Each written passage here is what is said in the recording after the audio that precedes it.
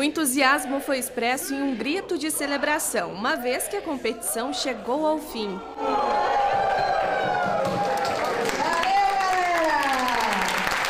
No total, 50 duplas se inscreveram para a fase inicial da seleção interna de derivadas, realizada no anfiteatro da UTFPR de Pato Branco.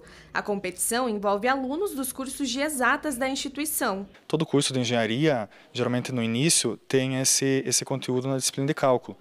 E aí ele serve de base, né, é, tanto por, pelas suas aplicações, né, quanto é, como base para disciplinas mais avançadas. A ação foi realizada através de um projeto de extensão do grupo de disciplinas de Cálculo 1, idealizada pelos professores aqui da UTFPR de Pato Branco. Segundo o professor de matemática Matheus Salomão, este momento permite aos alunos interagir com outras turmas e aprender de forma divertida. É um momento que eles podem interagir, alunos de diversos períodos desses cursos, né? É, alunos que estão se formando, alunos que estão no início, né? E é é algo além da sala de aula, né? É uma metodologia um pouquinho diferenciada, né? Que sai da sala de aula e fica algo mais divertido na forma de gincana. Para os estudantes, a experiência é igualmente enriquecedora, proporcionando diversão, especialmente para aqueles que se dedicaram ao estudo das derivadas antes da competição. Algumas estavam mais fáceis, outras estavam um pouco mais difíceis, mas eu acho que todas ali, alguém que efetivamente estudou conseguia resolver. A patolinha é uma coisa muito divertida.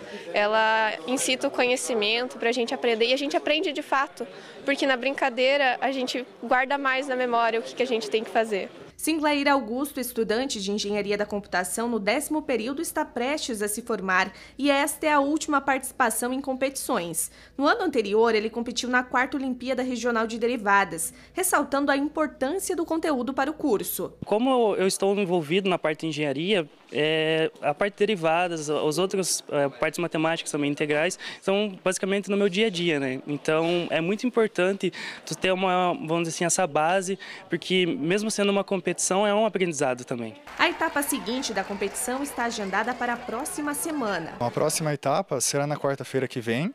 16 duplas dessas que participaram né, vão se classificar para essa segunda fase, né, a fase final, é, concorrer a prêmios e uma possível classificação aí para para a Olimpíada Regional de Derivadas, né?